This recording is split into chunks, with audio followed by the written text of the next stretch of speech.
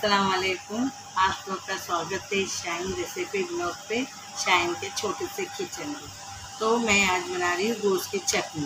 तो अगर आप लोग के यहाँ गोश्त जो बचता है, सालन में या पुलाव में, कहीं में भी बचता है तो वो गोश्त को फेंकेगा नहीं उसकी चटनी में। तो मेरे पास नहीं था तो मैंने इसको बॉईल करके ली। तो अभी मैं इसका रेशा बना के आपको दिखा तो देखो, मैंने सारी हड्डियाँ निकाल दी, खाली गोश्त गोश्त है। अब मैंने इस कढ़ाई में तेल डाली हूँ। तो अब ये तेल मेरा गर्म होगा तो हम ये फ्राई करके लेंगे। तो देखो मेरा तेल गर्म हो चुका है तो मैं इसमें ये गोश्त डालूँगी। देखो, ये गोश्त को डाल के अच्छी तरह से इसको फ्राई करूँगी। हड्डी हड्डी जो है निकाल लेना हाँ वो हड्डी भी टूटता नहीं तो। मैंने गैस बारीक करी हूँ, आप लोग भी गैस बारीक करिएगा। और इसको थोड़ा मैं अच्छी तरह फ्राई करके लेती हूँ। देखो। इसको हमको कुरुम कुरुम करना है एकदम। तो ये चटनी बनेगी। तो मैं इसका फ्राई करके आपको बताती तो ये देखो, इस तरह मैंने फ्राई करके ली। देखो, माशाल्लाह से बहुत अच्छा क्रिस्पी बना हुआ है। मैं आपको इसको निकाल के बताती हूँ। तो ये देखो आवाज़। देखिए, माशाल्लाह से अच्छी तरह मेरा ब्राउन हो गया। अब हम क्या करेंगे, ये थोड़ा मैंने गैस बारीक करी हूँ। इसके अंदर मैं ये तीन कांदा काटी थी, ये डाल दूँगी। तीन कांदे को भी हम इसमें फ्राई करेंगे।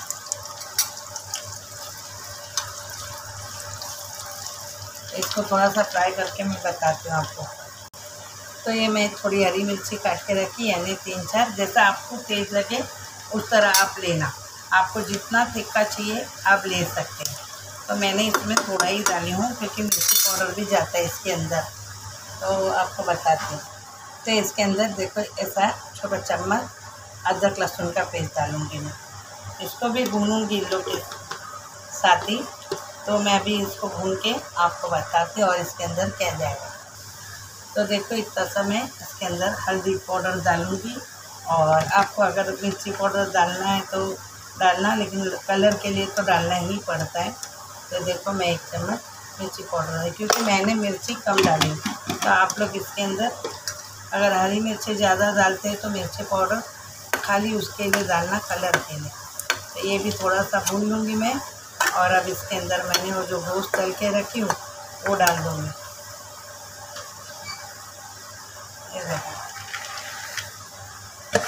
इसमें कैसा तेल ज़्यादा ले रहता है? तो यही वजह से ये चटनी बनती है। तो अगर आपको कम डालना है तो आप कम डालिए, लेकिन कम डालेंगे तो एकदम सूखा बन जाएगा। तो इसीलिए मैं इसके अंदर तेल नहीं निकालूँ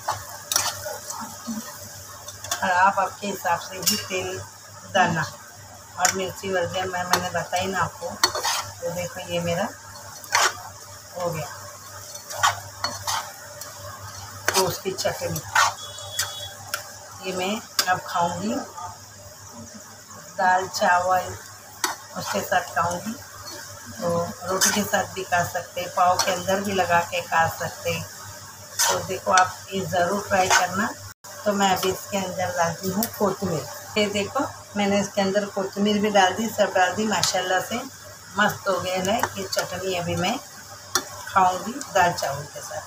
तो ये देखो, माशाल्लाह से देखें अगर आपको ये बहुत झटपट बनने वाली है रेसिपी और आपको ये मेरी रेसिपी पसंद आई तो आप मुझे सब्सक्राइब और लाइक ज़रूर कर दीजिएगा कमेंट में ज़रूर लिखेगा और ज़रूर ये बनाना दाल चावल के साथ बहुत अच्छा लगेगा।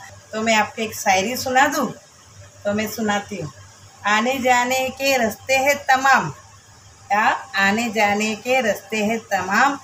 ओ मुझे देखने वाले व्यूवर्स सबको मेरा सलाम। तो मिलती हूँ फिर। अल्लाह हाफिज़।